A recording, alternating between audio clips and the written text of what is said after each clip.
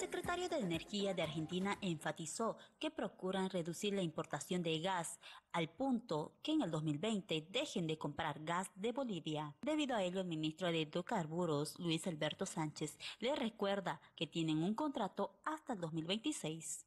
Y hemos entregado 1.5 TCF de reservas, en reservas, y bueno, nos resta entregar 3.7 y bueno, eh, el contrato está vigente, lo haremos cumplir el contrato, la vigencia en la totalidad de, los años y también en los recursos o en las reservas que ha sido eh, acordado.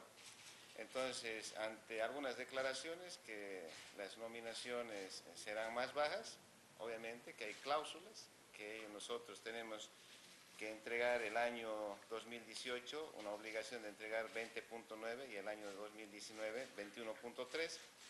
Si ellos eh, nominan menos, eh, tienen que pagar un take or pay, es decir, pagar por la energía no retirada y tiene eso intereses. Y eso lo haremos cumplir a cabalidad el contrato que ha sido firmado.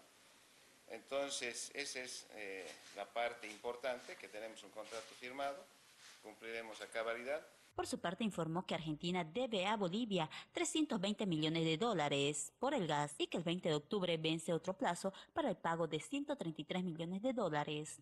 Pero también es importante eh, aclarar que la Argentina debe cerca de 50 millones de dólares de intereses entre el año 2007 y 2017. Nos deben eh, por intereses el 2018 5.4 eh, hasta la fecha nos deben una factura de 265 millones de dólares y el 20 de octubre se vence otra factura, que son adicionales 133 millones de dólares.